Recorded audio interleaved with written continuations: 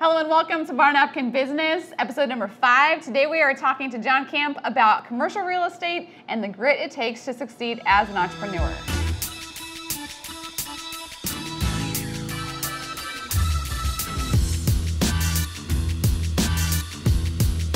Hello and welcome to Bar Napkin Business. I'm Matt, I'm Allie. and today we meet with Jon Camp to talk commercial real estate and going from a paper boy to owning a large portion of the Haymarket. We had tossed around the word czar, but we haven't talked about that with him, so we're not sure if he's okay with that, but that's kind of what it seems like. Uh, we both actually lease from uh, Jon. He is our landlord. It was fun to hear him talk about when they first got into it and had 90% in vacancies, 18% interest rates. I mean, that's really gut check time. And, uh, you know, if you're in it long enough, everybody's going to go through one of these periods where it's terrifying and the math doesn't work and Right. you just put your head through the wall and, and, and, and get through it. Um, that's really interesting to hear. You know, he's been in it almost four decades now. Um, so he's seen booms and busts and the markets do what they do, and it's not what you're doing when the market's doing what it's doing. It's it's how you react to it. So I, I found that really interesting for Jon. Yep, so we get a chance to uh, talk through that with Jon and ask him questions like, can we get cheaper rent? we'll see how he answers that. But uh, let's go ahead and roll to the interview. We hope you enjoy this with Jon Camp. Joining us today on Bar Napkin Business is Jon Camp, uh, owner and developer of Haymarket Square. Uh, he's been in this real estate, commercial real estate game for a few decades now, and uh, we're excited to get into it. So, first of all, thank you very much, John, for Yeah, joining thanks. us. Well, Matt and Allie, thanks for inviting me. I'm excited here to share with you and uh, others who will view this uh, different little things that I've encountered, whether it's good, bad, or ugly. So let's go to it. Yeah, Side note, awesome. he is our landlord, both of our landlords, so uh, there might be some uh, fun questions we can get him on here. Oh, I get zinged. I know, not yet though. okay. First of all, how did it all start? When did it start? Started in actually about 1981. The concept came out. I had a actuarial consulting firm headquartered in Kansas, but I had the Lincoln office here and owned half the firm. And I had just finishing up a three-year lease in an office, and I thought, you know, I'd like to find an old home in Lincoln. And so ended up talking to one of my clients who was a dentist who practiced out of an old two-story home. And I said, gee, Larry, do you know of any other homes for sale? Long story short, he owned the four vacant decrepit buildings here around the courtyard at Haymarket Square. And he said, gee, he and his wife Dorothy had bought it years earlier. They thought they were going to develop it. Yeah, just false starts. They wanted out. So I came down on a Friday and looked at them. And actually, uh, as I've shared before, the Veith building here, in which the Tavern on the Square is located, was, I said, great. I said, gee, Larry, I'll buy that. And he said, no, no, we want to get rid of all of them.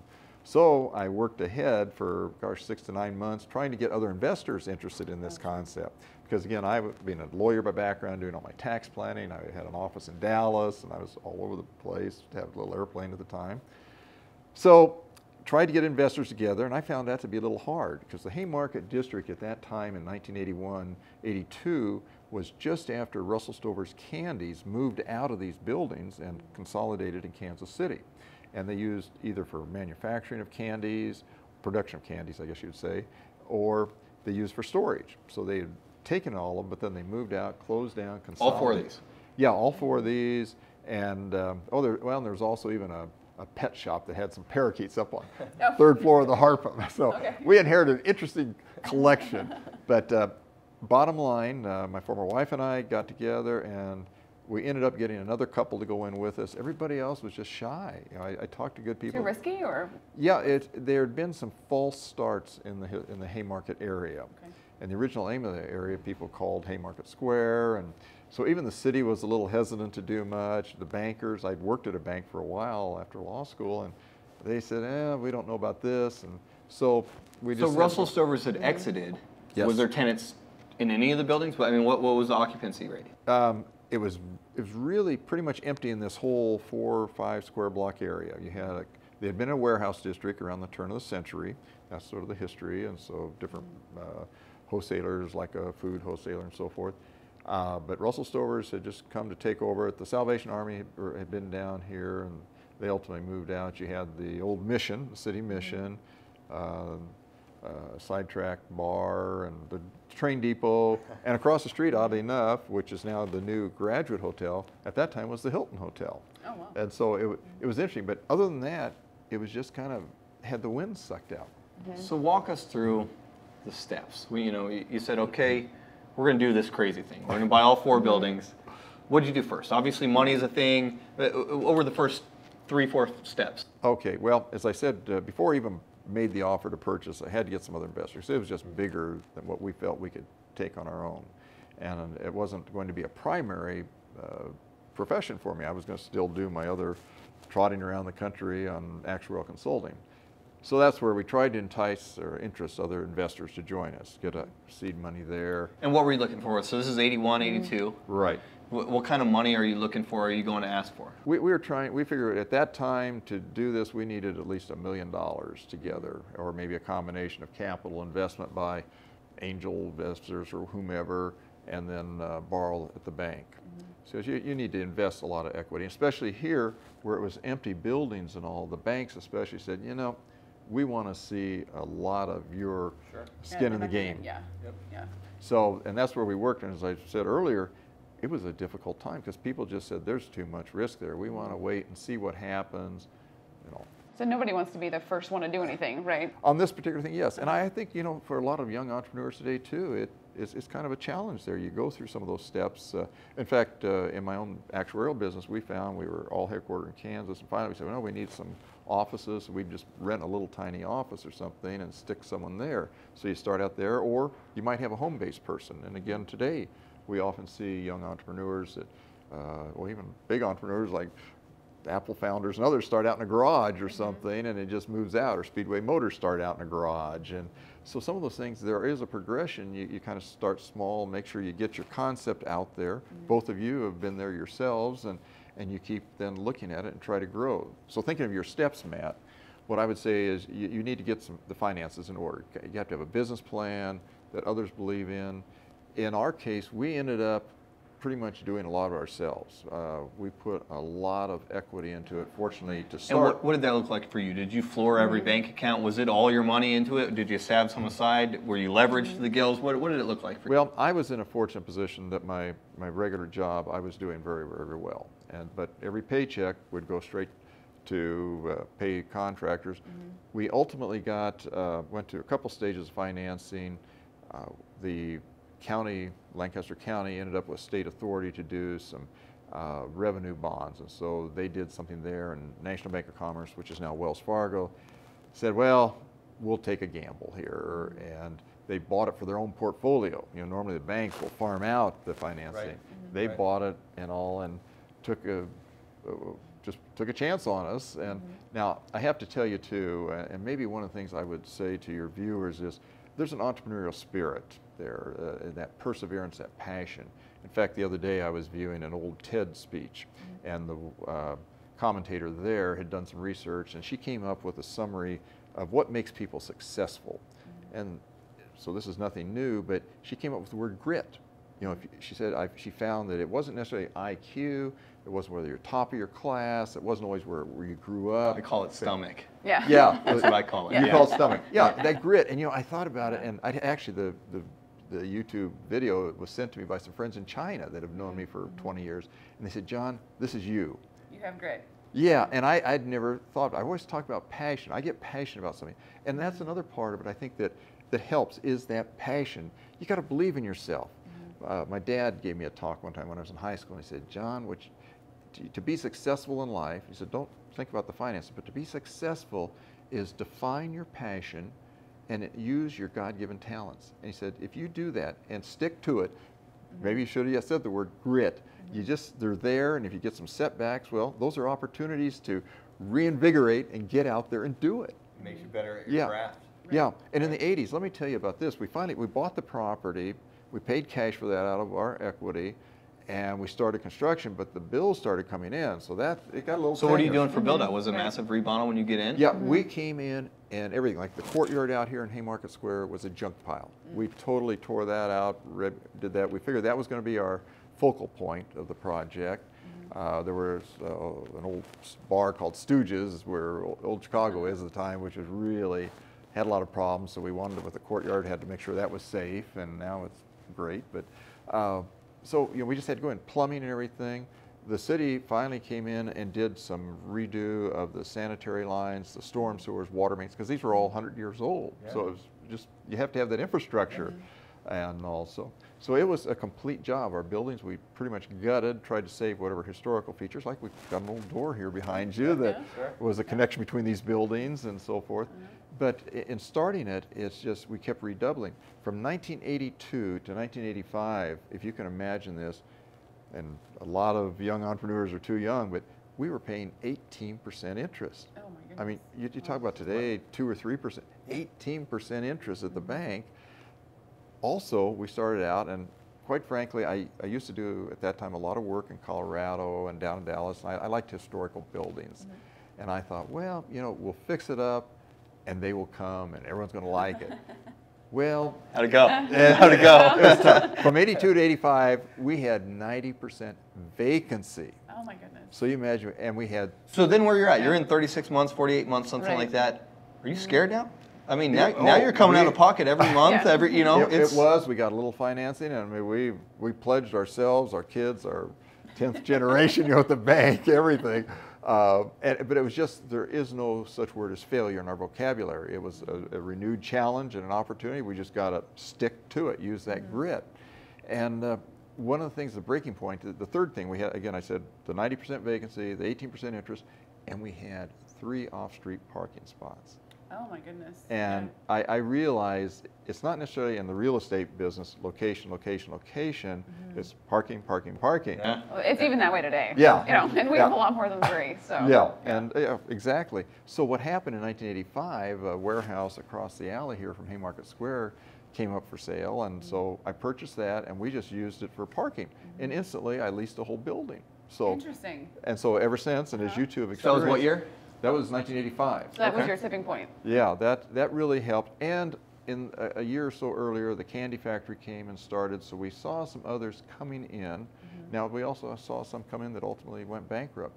And we just said, we're not going to go there. there. Again, failure wasn't in our vocabulary. So were the people that you were starting this venture with, did they have as much grit as you did, or were Uh, you kind of they were the sort of passive, great partners. Uh, I've since bought them out, but they they they just uh, and they were minority partners, but good Mm-hmm. people. And uh, the husband's uh, parents had died, and he inherited Mm-hmm. some money. He said, "Well, we'll roll the dice with Jon."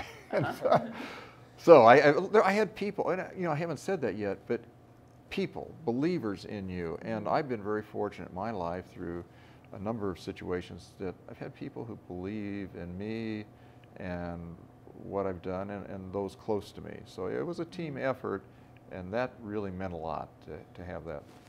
Yeah. So real estate's obviously a long game, right? It's Yeah. it's you're not you're not trying to buy these buildings and sell them in the next year. These you are know, not flips. it's it's a forever, right? Or a long time. Yeah. Um, so since then you've grown significantly. You own several other buildings. I mean, shoot, I think you own half the Haymarket. Um, You're too kind. but uh, why commercial real estate instead of residential? Can you discuss through the pros and cons? I'm sure you've looked down that path. Well, you know, that's a great question because uh, we started out looking, uh, we wanted some anchor tenants and offices and all, and then we thought, well, maybe we ought to put some residential units in. Uh, a little early in the market, but some friends of mine who did residential said, Jon, you know, there, there's a little bit of a difference between residential and commercial.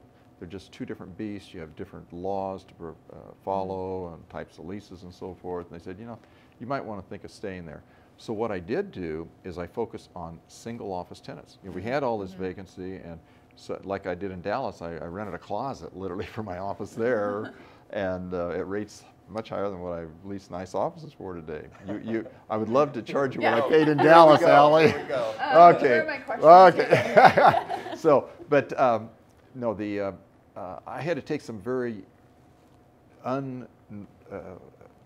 I was almost going to say abnormal, different approaches to the real estate. Again, that wasn't my training, too, to be honest with you. I just thought, you know, we'll fix it up, lease it up, and it'll just take care of itself. Well, that was the executive suite movement of single offices wasn't here yet. No, it wasn't. Right. And, and so in a way, that's what we used, but it helped fill the space. But what we have done over the years is we still have a number of small to medium-sized tenants, even single offices. And then we worked on the parking. We ultimately now, as you were suggesting or indicating, Matt, we expanded. And so around the late 18, 18, 1980s, uh, 1990, we expanded. We bought what is now the Apothecary Building and really more than doubled there. And we just thought, you know, we're, we're going to go there. We've got the base here and uh, had a game plan. We bought parking with it. We knew in the next to the apothecary in the Ridnour building we could build an underground garage. Mm -hmm. So parking was king. And so as we went, we did that, and that was a key to my formula on the office type tenants. Uh, we so that, that's how we've done. it. Stayed pretty much in the commercial side. it, it is a little bit of a different beast, and mm -hmm. you kind of just well, obviously commercials are longer longer leases. That's attractive. You can get a couple more bucks out of them than you can a residential, that kind of stuff. Mm -hmm. But you, you, just touched on that of changing gears. Um, you know, so the, on the front end, it's terrifying, right? Mm -hmm. it, we, we, bought we bought all this. We're, we got a bunch of debt. Uh, we're ninety percent vacancy, and then it, it, it kind of leveled out. You did some stuff when was the change gears moment? Was it the next building? Was it did you did you leverage yourself farther? I mean, what did, what did that look like when you or was there a big remodel on a building that you needed to do that that another gut check time in, in five or six years after the first time entering? Uh, I think there were a couple of stages. I, I think that uh, after 1985, the late 1980s, because we saw some more interest in the area, people said, you know, this really is going to go. Yeah. The farmers market came down here, which was mm -hmm. something we in, brought over from 13th Street. Mm -hmm. And so we got more family activities and you had this interest too, I think, not just Lincoln, but nationally in the character of older buildings, the brick walls mm -hmm. and so forth. Just something unique, not a sterile walled office, so to mm-hmm. speak. And so a lot of activities. In 1985, I and a couple other uh, building owners set up a nonprofit entity to help organize the area. And one of the functions we did, or one of the approaches we did, was work with the National Trust for Historic Preservation and they had a subsidiary called the Main Street Center. Mm -hmm. And it would go around primarily smaller towns where they had the typical town home, town square, and help them redevelop it and get it together. So mm -hmm. Lincoln applied, and we didn't really make the cut, but then they said, you know, you're kind of unique. You're a warehouse district. If you'd like to, we'll work with you. So we worked with them and set up this corporation, which now it owns the Hardy building, the Granger buildings, because we wanted to help get some affordable housing here. Mm -hmm. So, we, but we started that in 1985. And for about five years, they came in on a consulting basis and we hired an individual to help us there, coordinate some things, looking at the design of the area, the, uh, the pr uh, promotion. In fact, they said what you need to do is set up something like a gateway mall or the mall management, but you do it for these old buildings. So we got the identity and everything. So that, that helped too because it gave us some outside mm-hmm. expertise that in that era was something we needed. At what point did you become the Haymarket developers? I mean, that was 1982. We, okay. we set up, we got the name Haymarket Square, so we trademarked okay. that, so we own that. We thought it was important. And one of my partners said, you know, call it Haymarket Square. And so it was a great idea because, and that was part of the uh, Main Street Center too, is get your identity. And what you want to do is just like a, a Gateway Mall, a South Point, you want to say, people know what Haymarket is. And it took several years to Call get this. Right? Yeah, right. and then so you get people coming to Haymarket, and from there you may go down the buildings. We thought unique building names. So well, we called ours Haymarket Square. You got the Candy Factory, you got the Apothecary, which used to be the Lincoln Drug Company, and right. some others like that. So get people to understand, and you work them down then to, to be there, get the identity. And what's really exciting, uh, and I'm thinking back on what you said, Matt, it's been, a, it's been an evolution and it's, it's almost a curve that's just, just geometrically growing. It's amazing because I thought by 1990 we had grown, but heavens, with the, what's developed in the West Haymarket, which is not the, it's the new rather than the old, but and with Pinnacle Bank Arena and all the attractions, the Lied Center, hotels. So now you're a seasoned vet. You know, now you've been in it for a while. Uh, what's the most difficult part of your job? Is it handling upkeep? Is it finding new tenants, finances, staffing, time management? What, what is the thing in your job that is difficult today as you've grown? Well, no particular order. You mentioned time management at the last. I am, uh, uh, it's very difficult for me to say no.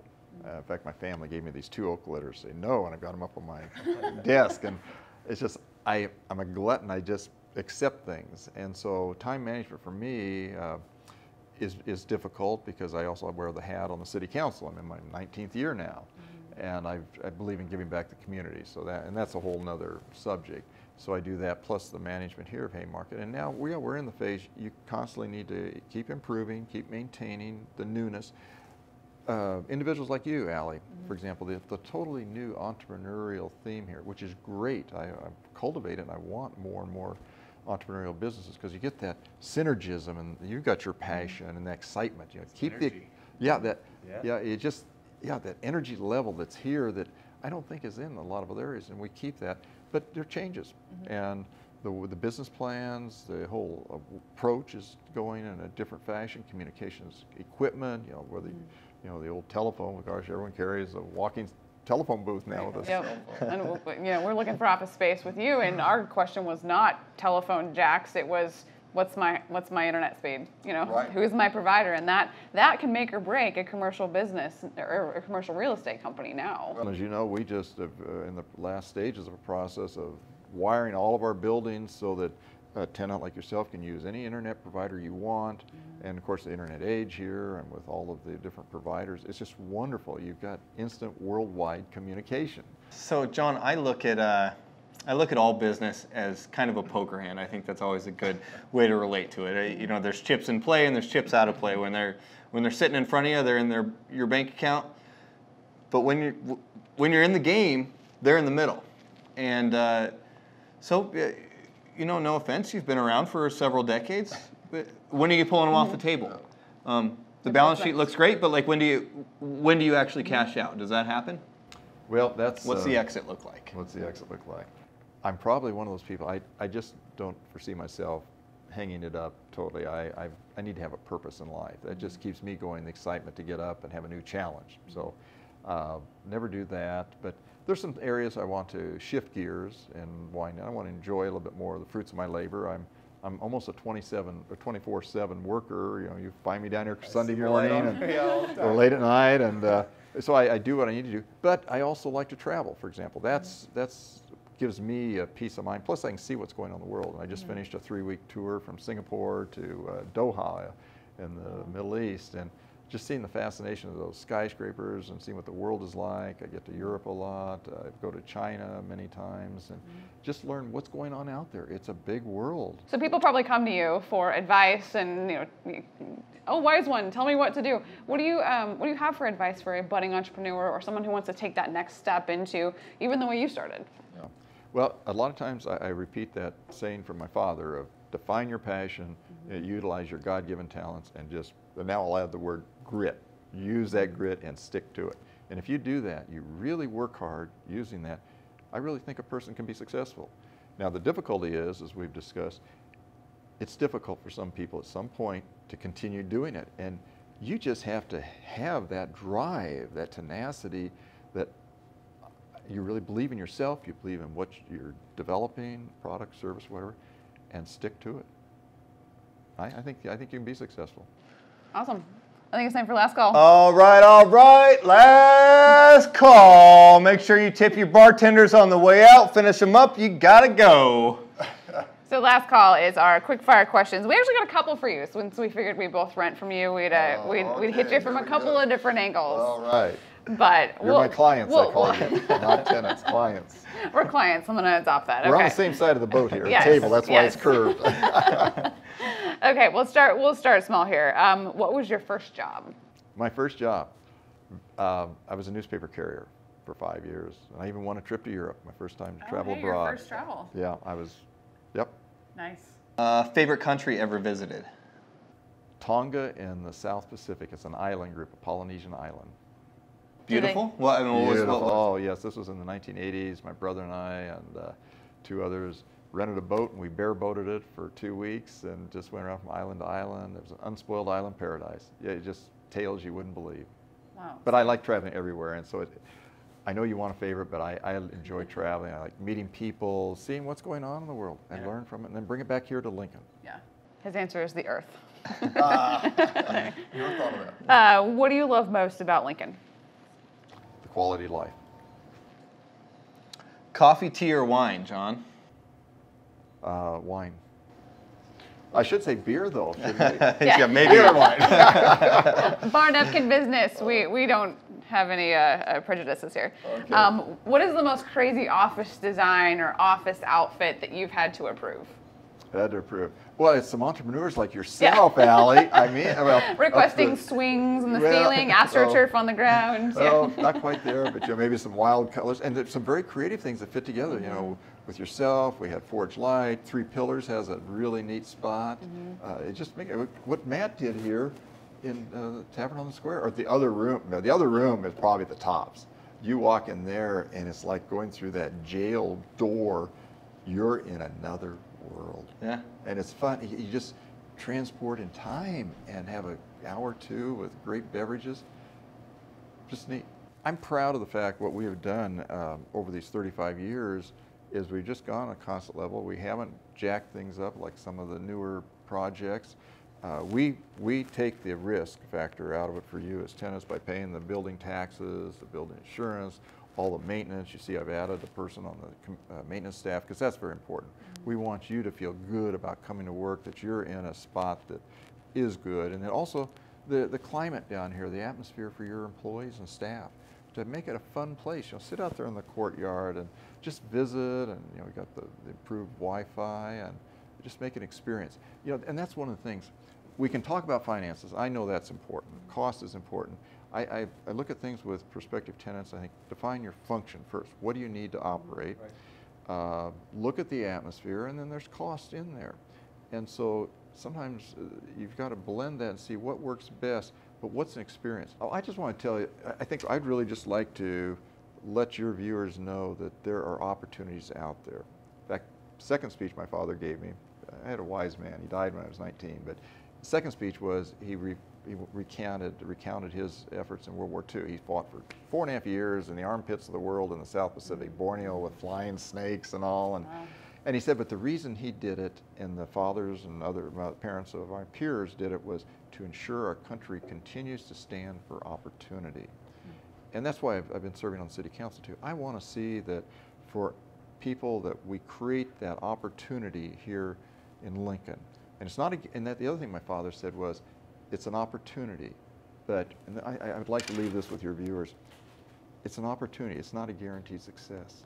And I think there's a, a little bit more of a prevalent uh, thought today that, boy, I'm guaranteed I a deserve it. success. I deserve it and it- I'm entitled. And it doesn't quite work that way. And the, the upper limits are boundless. They're, up, they're boundless with the opportunities we have here and the good fortunes. I see it in other countries and the, the poverty-stricken areas. They may have fancy buildings, but there's a huge class difference. But here in Lincoln, Nebraska, and in the United States, we have an opportunity. So harness your God-given talents, follow your passions, take that opportunity, and if you do that, you will be successful. But it's not a guaranteed success. And if you happen to have a setback, hey, renew with vigor, grit. Thanks for joining us today. We hope you enjoyed the interview with Jon Camp. Please look for us on iTunes podcast store. If you have an iPhone, there's a purple thing that says podcast. You click on that, search Bar Napkin Business, you will get the full episode. If you have ideas for guests, you can email us at show at barnapkinbusiness.co. You can also find out more about the show at barnapkinbusiness.co. So until next time, again, find us on iTunes or YouTube or join us on Facebook and Instagram. We'll see you later.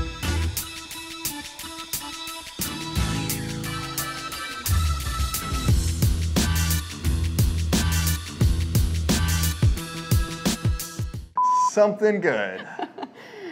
Coming your way. Something good. Uh, iTunes podcast, YouTube. I hope you enjoyed.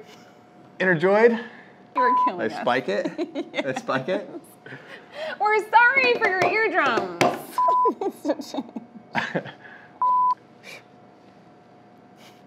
I'm ready.